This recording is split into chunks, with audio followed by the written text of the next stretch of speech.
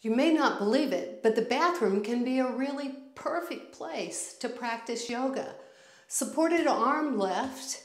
I'm facing my shower, lifting one arm up, exhale, bringing it back down, lifting the other arm up, just letting him slide along the shower, trying to extend my range of motion, and then bringing both arms up, walking the hands, breathing into the wall,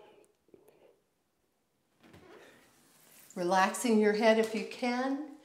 What better time to stretch your muscles than when you're they're nice and warm and you're in the shower? You can sprinkle yoga anywhere.